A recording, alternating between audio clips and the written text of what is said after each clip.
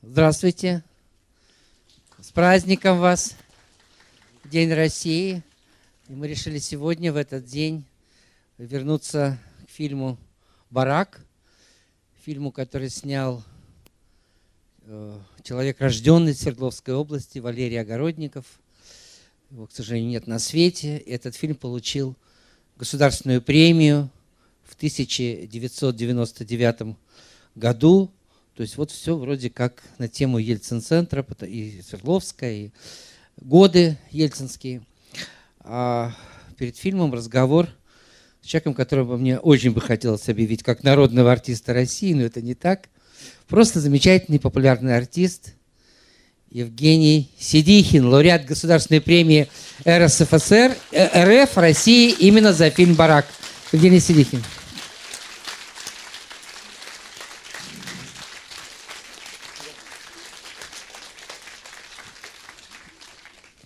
Ну вот мы начали с фрагмента из фильма «Прорва» Ивана Дыховичного. Наверное, это лучший фильм этого режиссера. Мне жалко, что сегодня этот фильм с великолепной э, Уте Лемпер, немецкой актрисой, такая Грета Гарба, э, так сказать, э, рубежа веков 20-21 века. Я где-то читала, Женя, что вы как-то не очень эту работу любили и считали, что, ну, может быть, есть что-то у вас более интересное, хотя это был почти, почти ваш дебют. Нет, я работу эту очень люб, люблю. Так. Картина очень мне нравится. Это Ута Лампер, просто божественная актриса. Я счастлив, что с ней оказался в кадре у Вани Дыховичного, у э, оператор Вадим Иванович Юсов. Да, тоже великий, великий человек. Великий да. человек. И большой друг был. А, ну, в вашем общении, да? В моем общении мы долгое время потом еще общались. Ну, Вадим Иванович Чуцев – это человек, который с Тарковским снимал Андрея Рублева, э, «Солярис», и самую первую картину, и с Бондарчуком он снимал э, «Степь», и, в общем, просто выдающийся великий кинооператор. Ну, у нас есть, прежде всего, возможность э, услышать вопросы из зала, это сегодня самое главное – день такого народовластия, можно сказать, народной воли. Поэтому мы ждем ваших вопросов. Евгений, а вы, может быть, скажете тогда несколько слов о том, э, вот ваше общение с Уралом, ну, с регионом, с городом, с Уралом в широком смысле. Вы же питерец, вы же человек, как говорится, столичных кровей. Вот как э, э, в вашей жизни возник Урал? Я девушку встретил с Урала. И теперь, когда я встречаю девушек с Урала, я э, угадываю некоторые схожие черты лица. Мне очень нравятся большие глаза, широко посаженные, легкие скулы. В общем, то я шучу, конечно. Нет, действительно так. Вот, ну, такая девушка была. У нас самая красивая девушка на курсе училась, она родом из э, Свердловска, э, из Екатеринбурга. И Ира Тычинина, она по сей день работает в Малом драматическом театре. Э, мы все мечтали э, как бы поближе, э, поближе с ней, конечно, познакомиться. Ну вот, первый контакт. А удалось Игорю Черневичу первому. А он как, женился на ней? Да, он на ней женился ненадолго. Ну, вообще, эм, Евгений замечательного курса Льва Абрамовича Додина, где учились э, вот уже названные имя Игоря Черневича, еще, наверное, были замечательные люди. Да, были замечательные люди. Э, здесь в фильме «В барак» э, играет Леша Девоченко. А, ну, великий, уже ушедший от нас Алексей Девончик, Девоченко, да, который... К сожалению. Да. А, ну и я могу всех перечислить. Для меня каждый, каждое имя. Каждое имя очень важно. Это был у Додина следующий курс после братьев и сестер? Нет, э, братья и сестры это курс был с Кацманом. Да, А следующий курс с Кацманом это был курс братьев Карамазовых. Ага. А это был э, э, первый курс Льва Абрамовича Додина, когда он набрал сам мастером. Без Кацмана. Без э, кого бы то ни было. Ага. Видите, у меня вопросов-то много, но мы ждем ваших вопросов. Пожалуйста, дорогие мои, наши зрители, пожалуйста. Ну, нет Ну, вопросов, может, мы что-то Мы, в общем, расскажем. да, можем что-то... Нет, ну вот хорошо. Вот Сидихин – это кино, это знают все.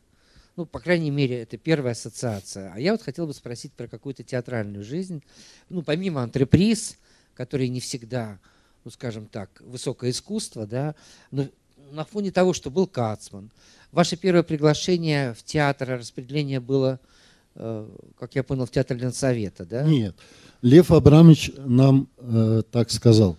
Либо я беру весь курс к себе в театр, малый драматический, а если кто-то не идет, то я э, начинаю выбирать.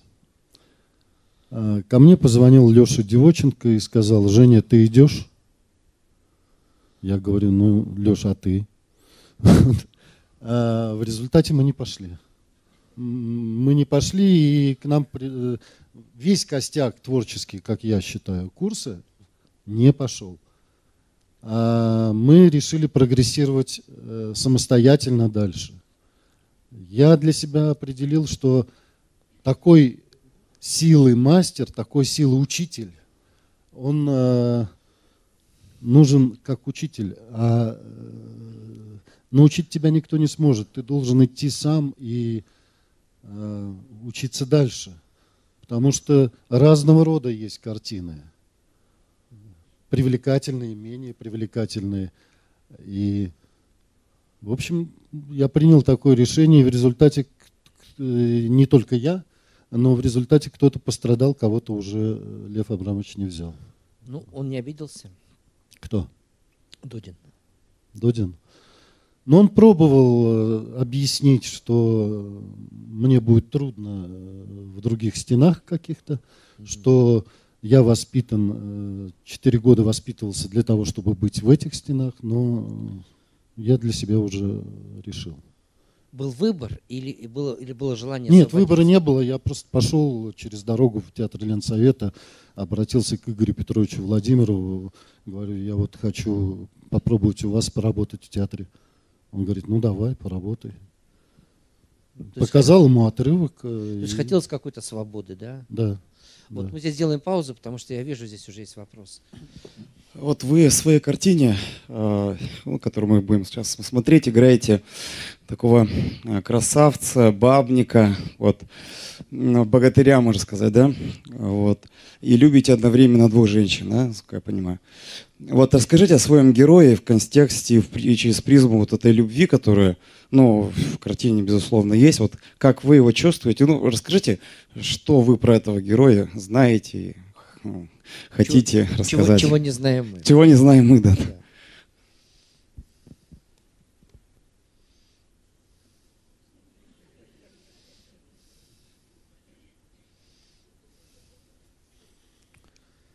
Ну, я все-таки надеюсь, что я что-то знаю, чего не знаете вы. Но э, дело в том, что я не знаю, что знаете вы. Э, вот. Действительно,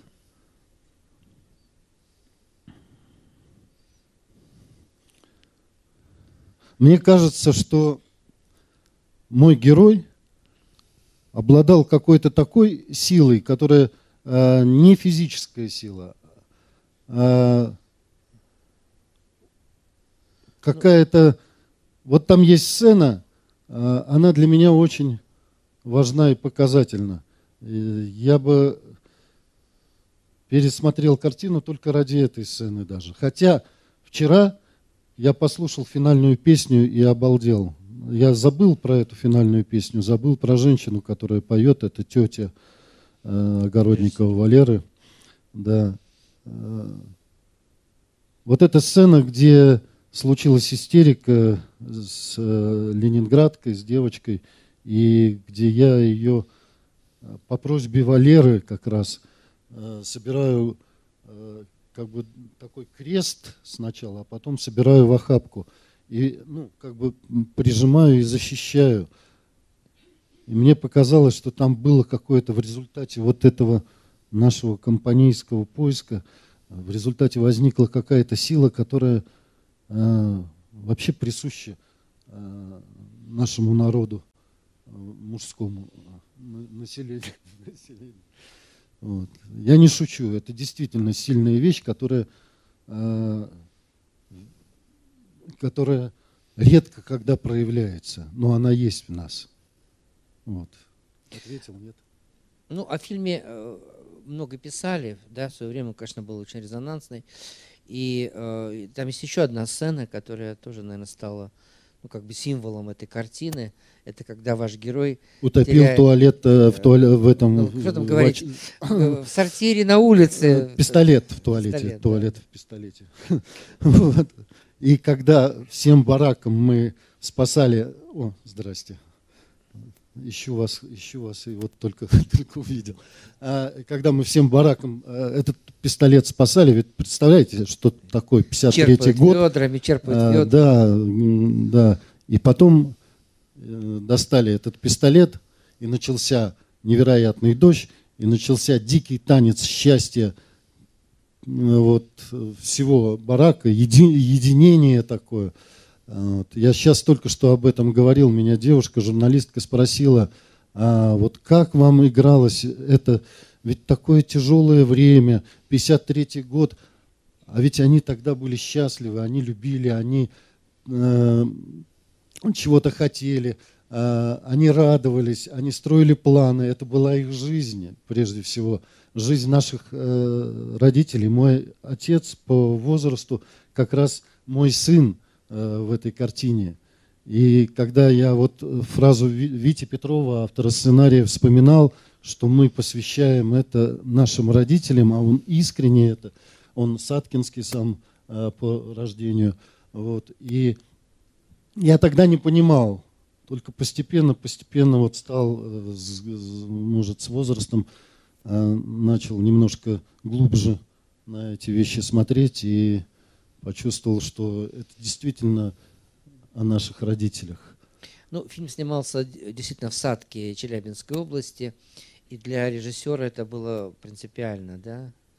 А как вы съемки вспоминаете? Ведь не так просто такую экспедицию вывести в такую глубинку. Можно я такую легкую да, смешную зарисовочку расскажу? Вам можно все. А у нас э, снимался Андрес. Э, и так получилось, что э, он меня, он немец, э, он меня учил э, Э, немножко английскому языку, так как он хорошо владел английским, немецким, а он учил русский язык э, для роли.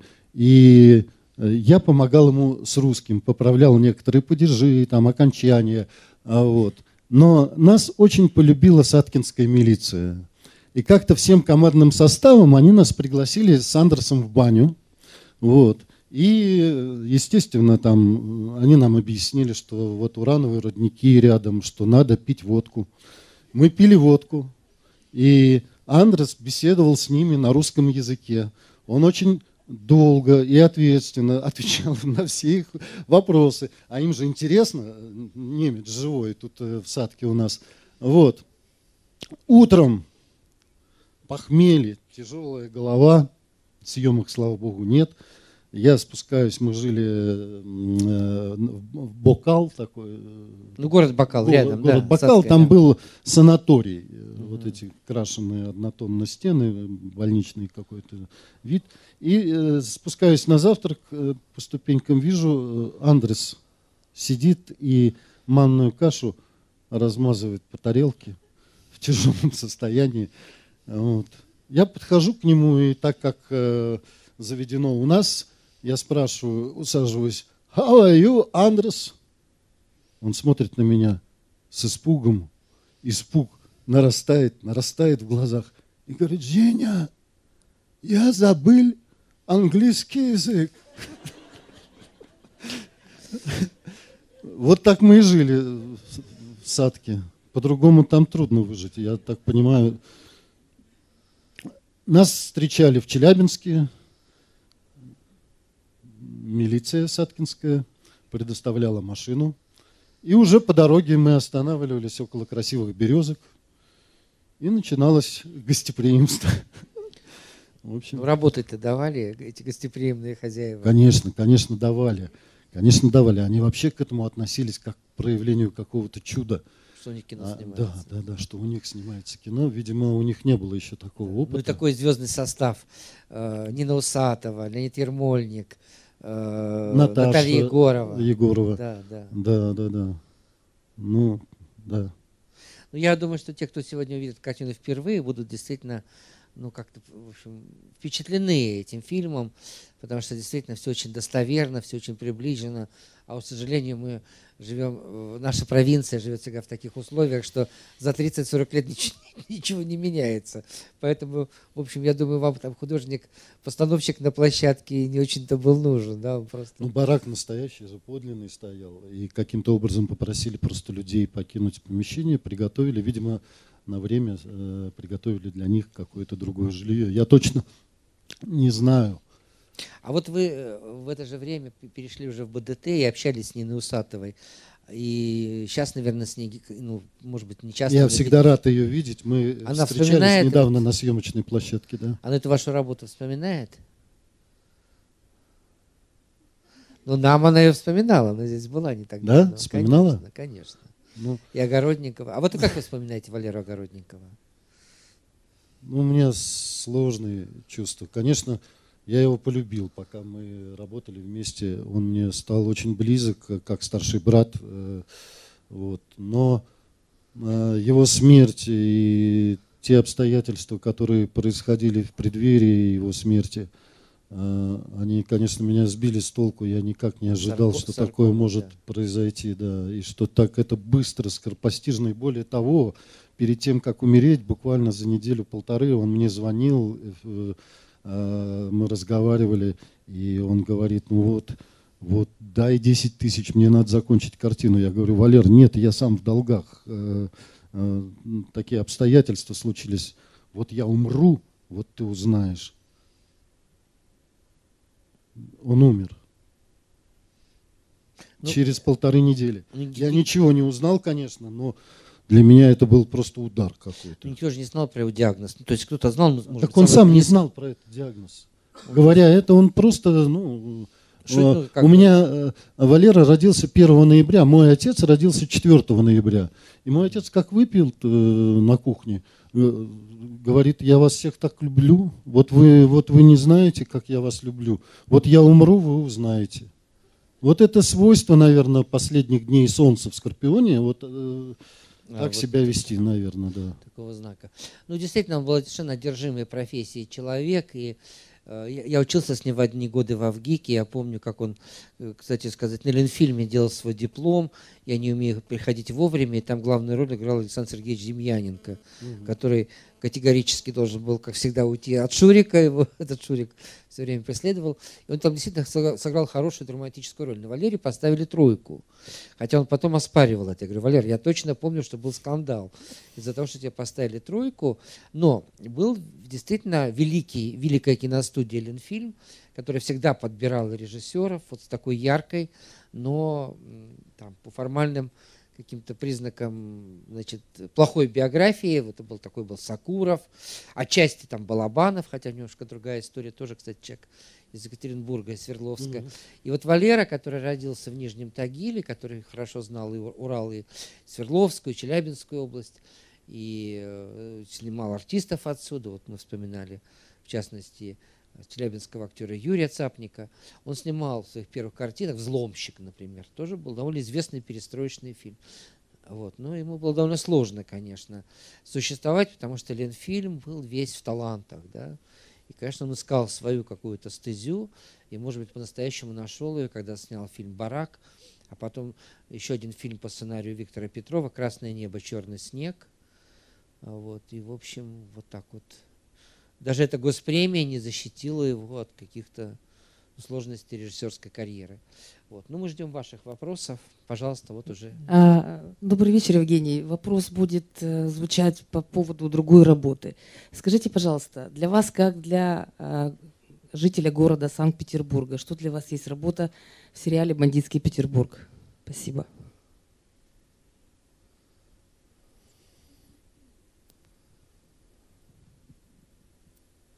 Ну, э, в каком смысле? Что, что значит для жителя Санкт-Петербурга? Я родился в Санкт-Петербурге, э, да, я снимался в этой картине, э, которая, по-моему, так, э, как могла, отразила время и происходящее с, в моем городе, потому что действительно кошмар, что творилось. Вот. Но мне больше, как э, жителю Санкт-Петербурга, более импонирует русский транзит даже. Вот он больше такой по характеру своему петербургский сериал. Хотя там э, драки, карате вроде, но это не важно. В нем э, его создавал гениальный, на мой взгляд, режиссер Виктор Амросович Титов. И мне безумно повезло то, что я с ним в начале моего пути встретился.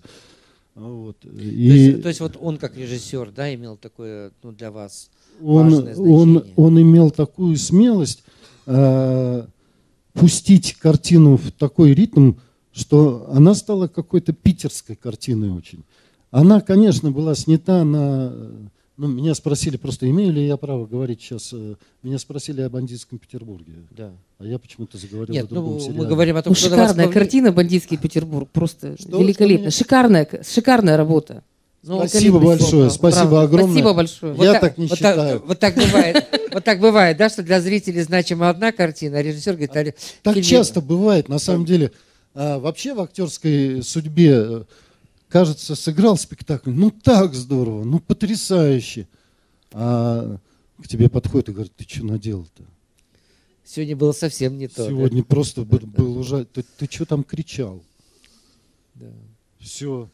А бывает, э, приходишь домой и думаешь, господи, только бы никто эту картину сегодня бы телевизор бы не включал и не смотрел. Там же полный ужас. И вдруг звонят друзья, слушай, Женька, какая отличная успех, работа. Такой успех. такой успех, да. Нет, ну, кстати, все вот, непредсказуемо, все Чтобы про Виктора Титова было все понятно, напомню вот большинству зрителей, что это режиссер фильма «Здрасте, ваша тетя». «Чудо с косичками». «Чудо с косичками», где, Мазурке... где Мазуркевич дебютировал. Да, да, да. И самое главное, «Жизнь Клима Самгина», один из серьезнейших таких сериалов. Потрясающий сериал. Который, может быть, сегодня... Который сейчас даже помнит, нужно смотреть. Его потому как, э, какими технологиями. Да, это вот такой был Виктор, а, Виктор Абросимович, по-моему. Виктор да, Амросович, э, да. Титов, да. Титов. Пожалуйста, еще ваш вопрос. Добрый вечер, Евгений Владимирович. А, вопрос относится к картине «За последней чертой». В этой картине вашим партнером по кадру был певец, э, композитор и поэт Игорь Тальков. Расскажите, пожалуйста, о ваших впечатлениях и воспоминаниях, которые у вас остались о совместной работе в кадре и за кадром. Спасибо. У меня очень хорошее о нем э, впечатление. Я долгое время не мог понять, почему. Э, он мне как-то сразу же на душу лег. В первый же съемочный день он подошел ко мне. Он хотел играть главную роль, а ему досталась роль вот этого князька бандитов. И он ко мне подошел и говорит так долго-долго, посмотрел на меня и говорит, Женя, а я знаю, почему ты должен играть эту роль. Я говорю, почему, Игорь? У тебя глаза грустные. Это было, э, даже я был моложе его немного, но даже для меня это было как-то наивно, искренне и очень открыто. И так мы продолжали общаться, когда встречались на площадке. Я ездил к нему домой, э, в Хрущевку, э, очень тесную. Вот. Единственное, что у него была по тем временам, временам вишневая девятка, он ее заработал на концерте, ему подарили. Вот. А самое страшное произошло э, тогда, когда мы снимали его смерть. С тех пор я все время прошу камеру не выключать до того момента, пока она не увидит, что я не умер, что это игра. А он потрясающий, я в него стрелял с двух стволов, а, и он потрясающе умирал. Он красиво сыграл э, э, этот эпизод, очень красиво, мне очень понравилось. И мы после этого сели, Э, так как был мой день рождения, и мы сели, немножко там пригубили чуть-чуть. Он говорит, слушай, а я и в следующем году э, к тебе на день рождения приеду, потому что я буду в Питере, у меня будет концерт. Я забыл совершенно про этот разговор. У меня были другие события. Я в театре Ленсовета получил главную роль. Я репетировал полные э, ощущения вот того, что получается же, получается. Прихожу домой, и супруга Таня с порога мне говорит, Игорь убит. Я говорю, какой Игорь? Ну, на самом деле, погибало, погибало много парней нашего возраста, если вы помните, время такое было не очень хорошее. Она говорит, Тальков. И у меня все-все срослось день в день. ровно через год. 6 октября, когда мы снимали вот эту сцену, где он умирал, 6 октября в Петербурге э, вот произошли эти роковые события. Представляете, какой рок. Это говорит о том, что этот человек, конечно, очень непростой. Э, потому что, ну, для меня он был и остается тонким, ранимым поэтом, э, художником. Вот поэт. Понимаете, для меня много в этом смысле. Если сказать поэт, то уже объяснить все. Ну, спасибо. Ну, это самая первая роль в кино, да, по-настоящему. Да, да. А как вот вообще вот это знакомство с кинематографом произошло? Ну, предложение, кастинг, не знаю, фотоальбом. Что тогда, как это все сопровождалось? Приглашение в кино, почему оно да. возникло? Не знаю, почему возникают те или иные вещи в нашем... Это же надо создавать целые институты, чтобы исследовать, почему возникают случайности. Все равно мы этого никогда не поймем. Ну, Приехала девушка, э, кастинг-директор в Петербург и взяла, увезла вот такую стопку Коли Стамбуле э, фотографий. А объединение «Круг» настаивало, чтобы роль эту сыграл Цой. Ага. А Коля сопротивлялся. И он просто ткнул, вот увидел мою фотографию свадебную причем. Ну, вот этого тоже пригласи. То пусть... Настоящая фотография свадебная. Ну, естественно, да. Какие у вас интересные кастинги бывают. Прям настоящая ну, фотография. Такие были фотографии, ну, такие. Я да. не любитель фотографироваться просто. Угу. Вот. Э, то, что ну, она попросила фотографию, я, я отдал. Ну, вот, вот такая есть, есть такая. Она говорит, вот эту возьму. Отцу это было бы интересно? Неизвестно, да? Что? А почему Цой-то? Вот какая-то не, не, ну, не знаю. Это? Ну, видимо, они хотели создать такой боевик, такой. Цой против Талькова. Ну, как-то это Ну да, да. Ну, может быть, тогда они не думали о Талькове? Ну да. Ну, это же все. Ну, все бывает, да, вот такие удивительные. Мне Коля Стамбулар как раз режиссер рассказывал, фильма. да, режиссер фильма, он рассказывал, что были идеи там на круге, просили, да. чтобы вот Цоя попробовал. А, это круг, это объединение Сергея объединение, Соловьева да, на да, фильме, да. да. Ну все. Теперь мы Хотелось все бы задать несколько вопросов. Да, пожалуйста. Евгений, здравствуйте, спасибо, здравствуйте. что вы приехали. Значит, э, первый вопрос. Сколько снимался фильм «Барак» по времени? А, второй вопрос. Вот все говорят, вы актер кино, а, в театре работали, но вы еще являетесь ведущим документальной программы. Как вы оказались там? Что вам дает эта работа? И последний вопрос, который бы я хотела задать, я думаю, многие, наверное, задали бы его вам. В этом году у вас юбилей. Через некоторое время, в октябре. 55 это юбилей, да? Да, да, ну да, две пятерки. Да. Э, как вы собираетесь встречать свой юбилей? Какие у вас планы? Э, ваша семья, ваши коллеги, как они будут поздравлять? А вообще, да. какие у вас планы на себя? Я, конечно, немножко Спасибо. кокетничал, когда спросил 55 это юбилей. Но на самом деле недавно, э, буквально 3-4 дня назад, Таня, моя супруга, спросила, как я собираюсь праздновать юбилей. Я на нее посмотрел так, ну, я не знаю. Я не знаю, я не собираюсь праздновать юбилей. Я вообще э, стараюсь избегать празднования дней рождения. Э, я, я вообще не люблю праздновать. Более того, я люблю дарить подарки, если вот э, получать кайф от э, дарения подарков, не, приуро, не приурочивая это к какой-то дате. Это, это спонтанные вещи, они э, всегда как-то веселее происходят. Вот. А что касается, как долго снимался барак – знаете, а, независимо от того, сколько времени потребовалось для съемок фильма, да, вот того или иного, есть фильмы, которые, а, они просто, когда начинаешь вспоминать, ты вспоминаешь как целую какую-то параллельную жизнь. А, я думаю, что не больше двух месяцев э, мы просидели там в садке. Я помню, что были проблемы, когда мы прилетали в Уфу, а, через перевал ехать, э, когда не было в Челябинск самолета. Там была опасность, выпал снег, потому что уже, ну, так, я думаю, что где-то месяца три, наверное, в общей сложности вот вся история была снята. И еще какой-то вопрос по поводу документальной, документального ну, цикла. цикла. Передач вы вели Я э, имел опыт на НТВ, вел э, ток-шоу. Это было давно и недолго. А,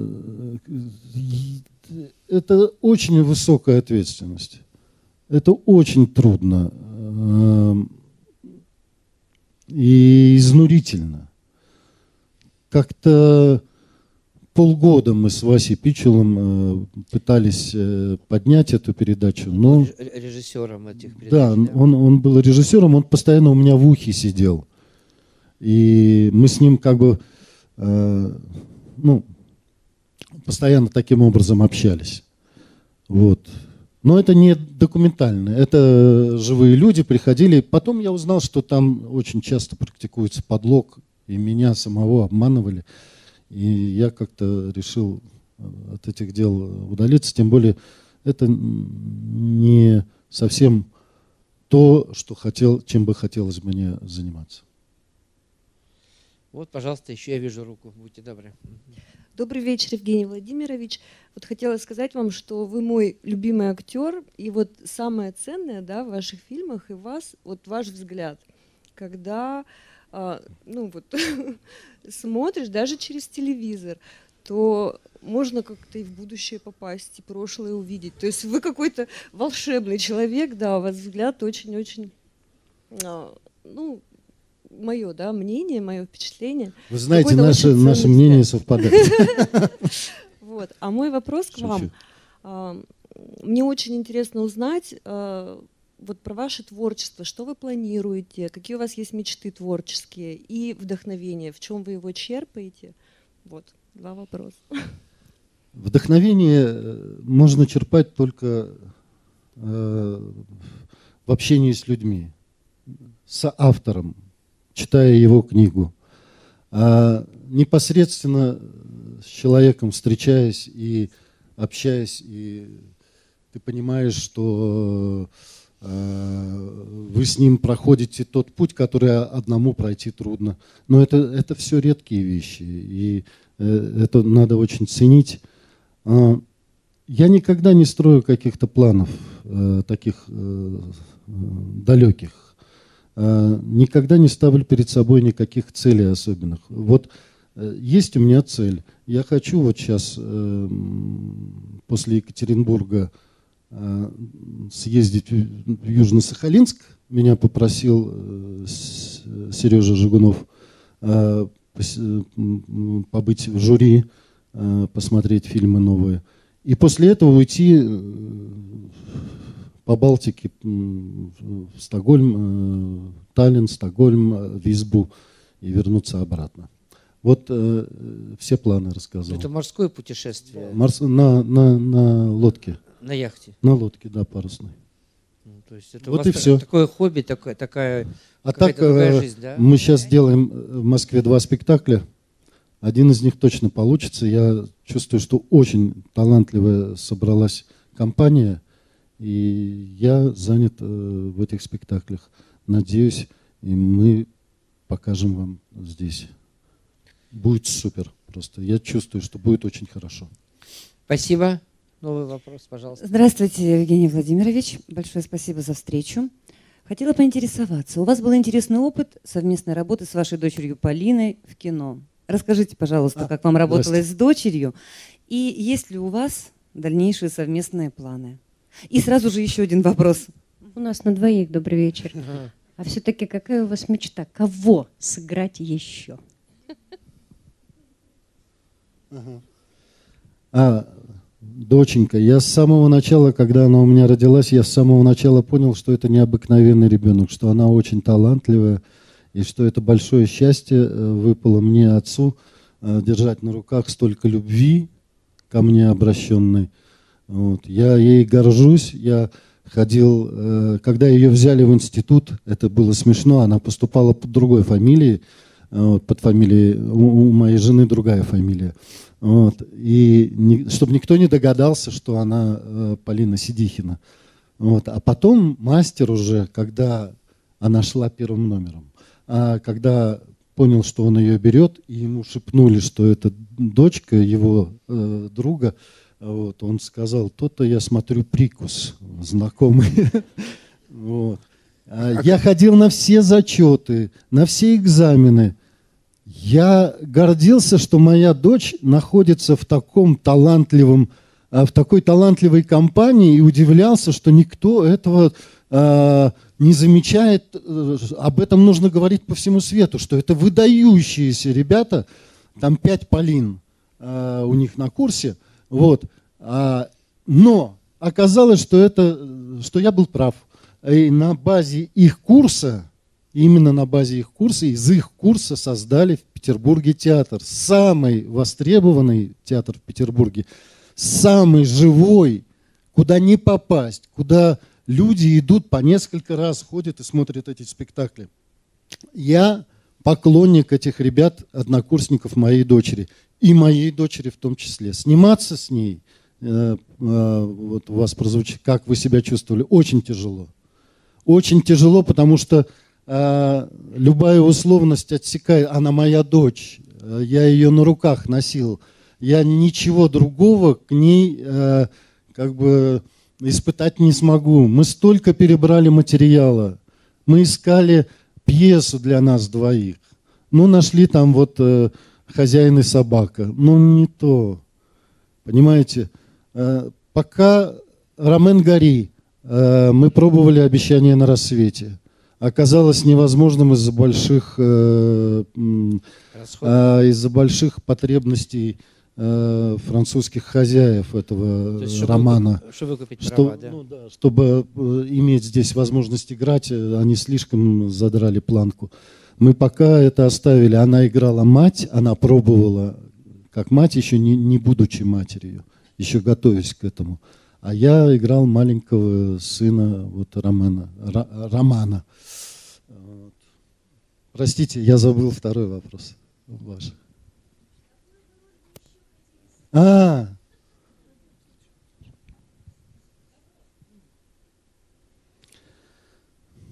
да не знаю. Я, честно говоря, у меня нету э, такого, чтобы я вот хотел сыграть Сальери. Вот хочу сыграть Сальери и все. Если я хочу сыграть Сальери, то мой Сальери прочтется в, в менте, который вот в садке будет. Понимаете?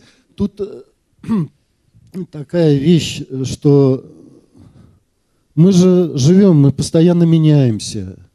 А, а, вокруг все меняется. И упереться во что-то одно, это значит лишить себя очень многого. В смысле роста, в смысле Э, личностного такого роста, понимания того, что происходит с тобой, с близкими, с э, людьми. Евгений, а в институте были роли, которые вот вы любили, которые вам казались очень правильными ваш, ну, в начале вашей биографии, то, что вам мастер предлагал? Что вы играли в институте?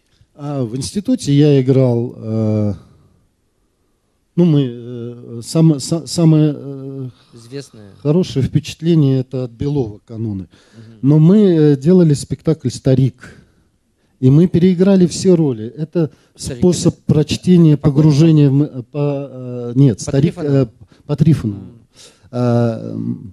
Это способ Додина проникать, когда нету вот, вот назначения на роли. Ты будешь Павел Евграфович, а ты э, лепешка коровья там э, бычин. А потом меняетесь, да? Ну, мы пробовали этюдно Все. на протяжении года войти в одну только э, станицу, э, в одну только сцену. Угу. Это гражданская война, где изнасилование Аси, помните, да? Ну, неважно. Вот год целый мы долбились с этой сценой, и уже выходя на сцену малого драматического с этим спектаклем, у нас был только первый акт второго акта даже не было сделано. А я не помню, такой спектакль разве состоялся? Да, он был студенческим да? спектаклем, дополненный артистами театра. И он и, был на сцене малого драматического. И он был неподъемно сложный для публики, видимо, потому что мы очень углубились. Очень глубоко. Мы играли на разных инструментах, духовой оркестр, мы Кочергин сделал потрясающее оформление спектаклю этому. Но почему-то он имел жизнь, пока мы были студентами только. Что самое великое, что я видел в театре, это, конечно, «Братья и сестры». Это незабываемый спектакль. Два, два вечера он шел малом драматическом, как бы да, своя это, труппа, да? Свой... Ну, дом тоже.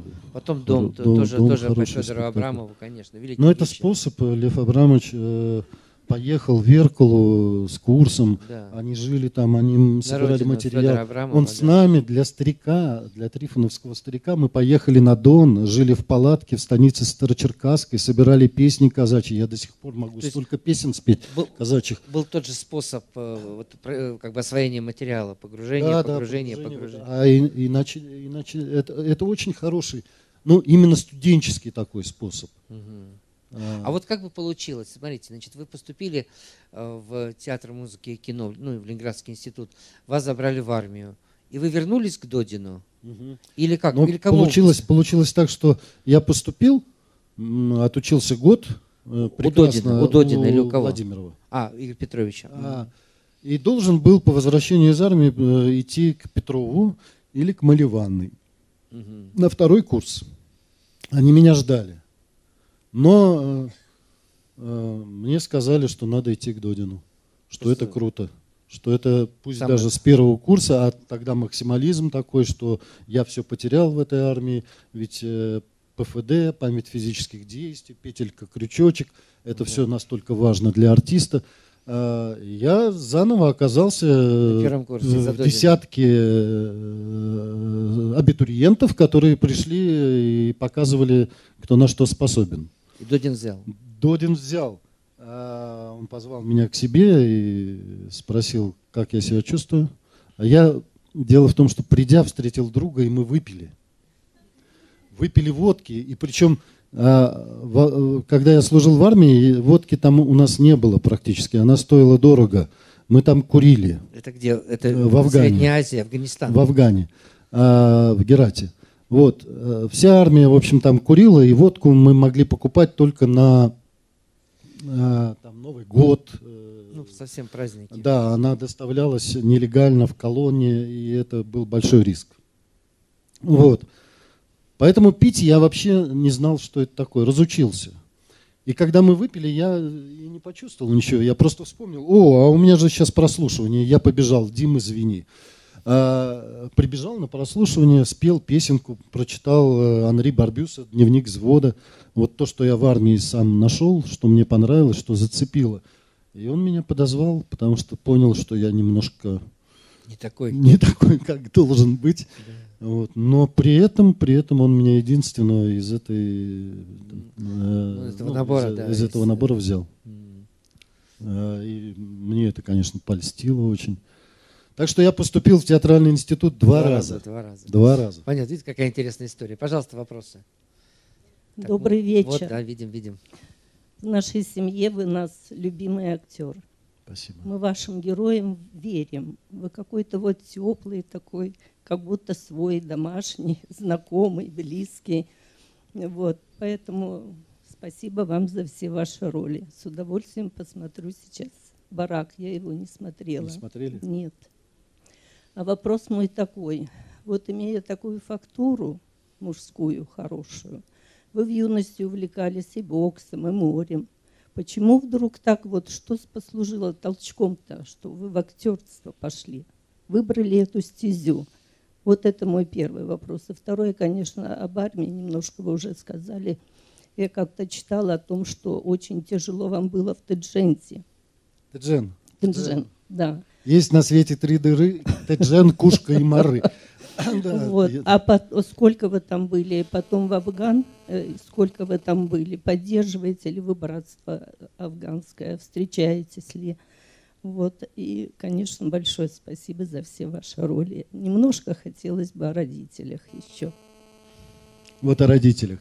Спасибо. Вы э, спросили, каким образом э, вот из, э, ну, не бокс, борьба, я борьбой занимался, а, каким образом в артисты пошел. Я был жадно влюблен э, в литературу. Я перечитал все, что меня выгоняли с кухни, я перечитал все, что у нас дома было, э, и всю фантастику, и французов всех от Зайля до Мапасана. А, вот библиотека не такая уж огромная, но внушительная. И я не мог оторваться от книги. А, в третьем классе, в четвертом я а, уже в четвертом классе пробовал Достоевского. Он меня просто поломал, и у меня был кризис какой-то. А, я никуда ничего не хотел. Я начал прогуливать тренировки, я лежал на диване. Вот. И прежде всего, вот э, занимаясь спортом в дальнейшем, участвуя в каких-то там, мероприятиях, я все время понимал, все время чувствовал, что я не отсюда немножко, что это не совсем мое.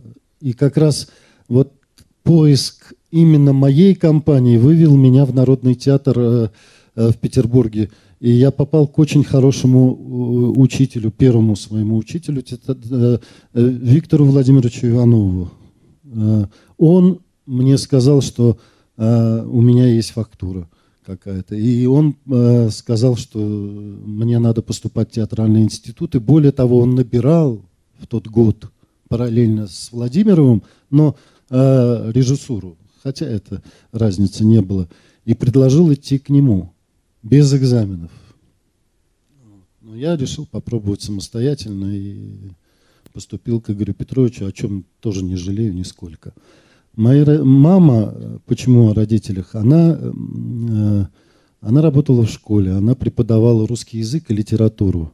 И я натыкался постоянно, когда она ушла, я перелистывал книжки и натыкался на выделенные ее рукой ноготочком. Мама, мама ушла очень э, рано из жизни, да, вот я, извините, я должен уточнить просто. Совсем сколько вам было? Вот, э, лет, мне было пять лет. Да, я натыкался на какие-то вещи, которые как э, послание, э, как будто она это оставила мне. Нет, она готовилась к экзаменам в университете, там подчеркивала что-то. Я это все досконально изучил. Я понял, чего она хотела для меня. Вот. Отец, э, ну вот знаете, есть такое понятие «первый парень на деревне». Вот он как раз из Новосибирской области. Он э, человек э, невероятных дарований. Вот, у него абсолютный слух. Он сам научился играть на баяне и играл и пел так, что просто за столом рыдали люди.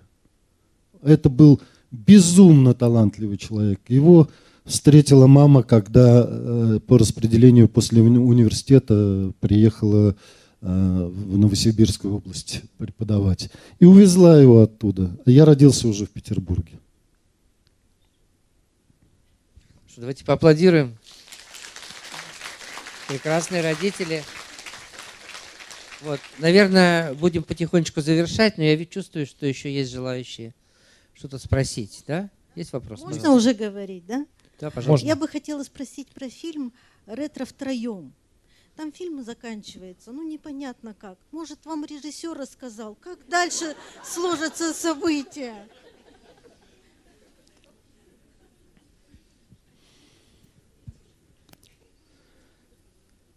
Петр Ефимович мне ничего не сказал. Для меня тоже он непонятно заканчивается. Как? Но на самом деле я понял его идею – Э, он, это вот, э, это большое счастье было с ним работать. Огромнейшее счастье было э, с ним работать, да еще в таком, в таком нежном материале. Вот.